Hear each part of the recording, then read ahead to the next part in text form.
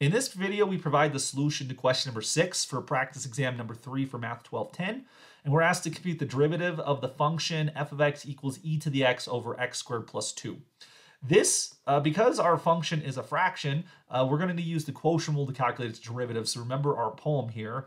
We're going to get low d high, take the derivative e to the x, minus high d low, square the bottom. Here we go. Some things to remember about the quotient rule is don't try to do too much at once. Use some scratch paper or use the margins in the page to write it out if you need to. Um, also, don't actually multiply out the denominator, leave it factored. That should be a square, not a prime there.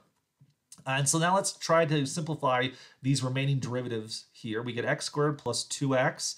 Derivative of e to the x is itself e to the x. Then we get a minus e to the x. We take the derivative of x squared plus 2x. That gives us a 2x plus 2. And this all sits above the x squared plus 2x squared.